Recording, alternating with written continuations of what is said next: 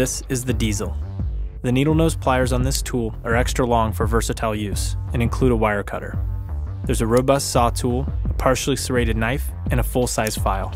The stainless steel Diesel also holds a Phillips driver, with three separate sizes of flatheads, scissors, and a can and bottle opener, all of which lock into place for safe application using Gerber's patented Saf.T.Plus system.